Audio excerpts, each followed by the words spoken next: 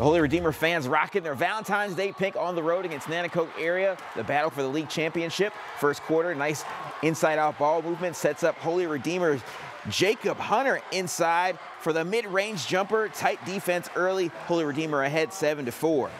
Last minute of the first quarter.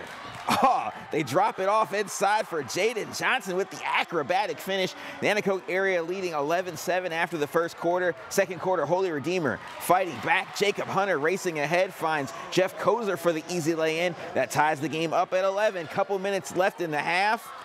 From the post, William Mullery gets the ball and falling away. He's all over that. Nanticoke leads 22-17, but Holy Redeemer comes back in the second half to win 48 to 33.